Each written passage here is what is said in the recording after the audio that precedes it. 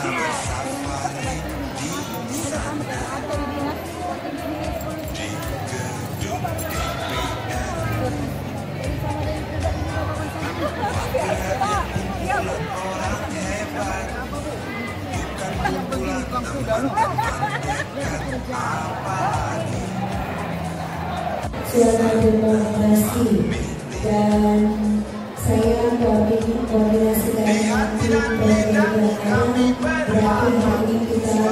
Thank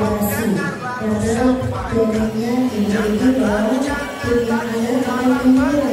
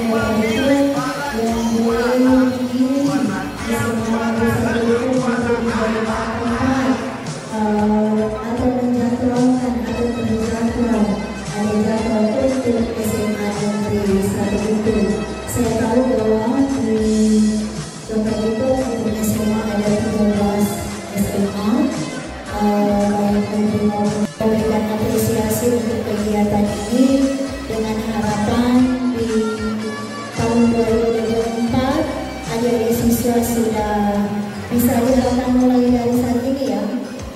Kira-kira bagaimana apa dan bagaimana tentang pemilih pemula dan adik-adik khususnya pengurus OSIS dan calon pengurus pengurus OSIS maupun calon pengurus OSIS dan kegiatan suara demokrasi sudah berproses.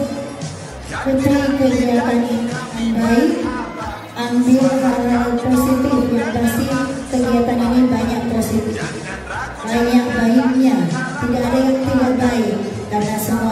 tujuannya adalah bersama dan pada kesempatan pada kesempatan ini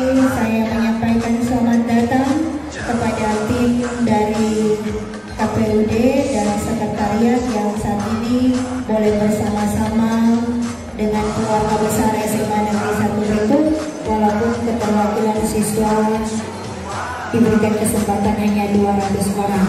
Sekali lagi selamat datang dan selamat mengikuti acara selanjutnya.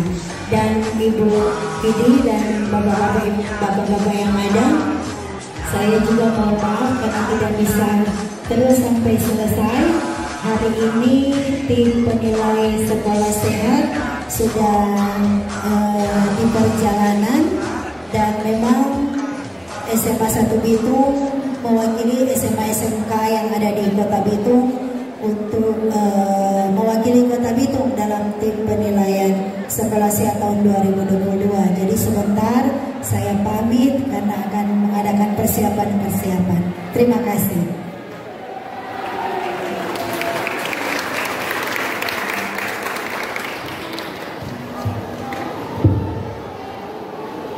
Terima kasih untuk Ibu Kepala Sekolah. Selanjutnya kita akan mendengarkan pengarahan singkat dari anggota KPU Kota Bandung. Yang pertama diberi kesempatan kepada Bapak Yuno S. Rabu SE. Beliau sebagai anggota KPU Kota Bandung juga selaku Ketua Divisi Perencanaan Data dan Informasi. Kami berikan kesempatan. Terima kasih. Selamat siang. Selamat siang. Ya, begitu. Semangat toh. Yang kami hormati Ibu Kepala Sekolah, teman-teman anggota KPU, ada Bapak Ketuanya dan Ibu Fitria Ramadhani. dan yang kami banggakan adik-adik SMA Negeri 1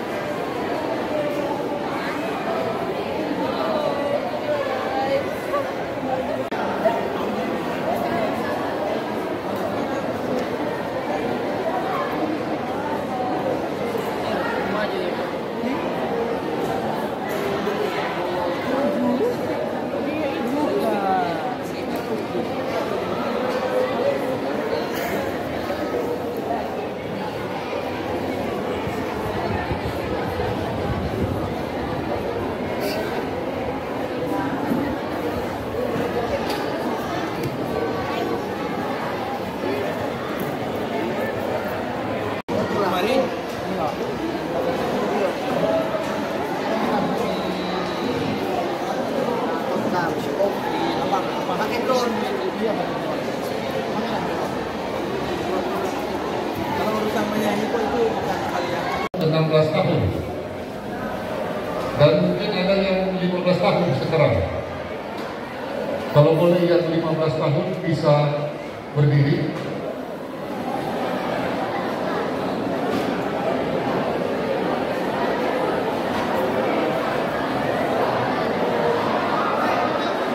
yang 15 tahun ya nah yang 15 tahun ini akan berhari ulang tahun sebelum tanggal 14 Februari 2024 ya.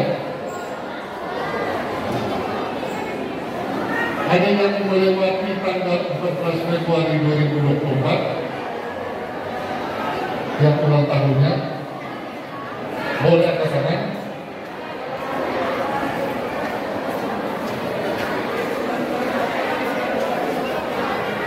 saya bisa mendatangi kantor dinas kependudukan catatan sipil kota Bitung. Mereka saat ini membuka pintu bagi semua siapa saja yang akan melakukan perekaman dan mendapatkan KTP elektronik.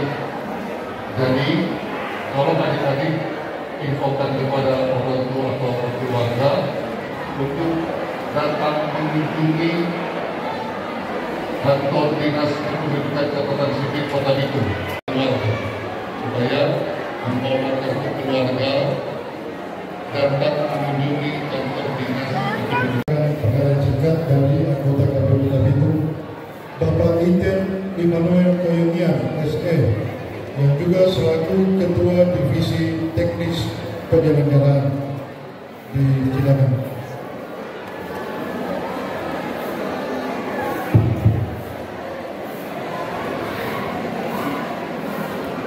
Shalom. Damai di hati. Assalamualaikum warahmatullahi wabarakatuh. Udah balik apa kita? Atau kamu mesti berdiri? berdiri kan bagus Iya. Saya langsung berdiri dapat lihat dan duduk. Baik adik-adik, secara teknis saya ingin memberikan penjelasan. Pertama, kenapa adik-adik dikumpul? Kenapa divisi jaga menyarankan agar adik-adik melakukan perekaman dan menanyakan apakah sudah punya KTP atau tidak? Punya wilayah, dua, punya rakyat, tiga, punya pemerintahan. Itulah yang disebut dengan sebuah negara. Ada punya pemerintahan, punya rakyat, tapi tidak punya wilayah. Negara apa itu? Itu belum kategori negara di PBB. Itu adalah Palestina. Nah, Indonesia dia punya wilayah, dari Aceh sampai Papua. Rakyatnya 200 juta lebih. Pemerintahannya ada sementara ini dipimpin oleh Presiden Jokowi. Uh, Perdana Menteri ada yang sistem kerajaan. Undang Negara Republik Indonesia Undang Negara Republik Indonesia Undang Pemerintah